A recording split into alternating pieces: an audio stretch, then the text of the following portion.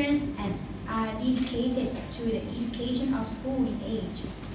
We are so glad to hear about the future study guideline that will be helpful and preparing of change. On behalf of the school, we welcome you with great pleasure and thank you very much for this opportunity. Thank you.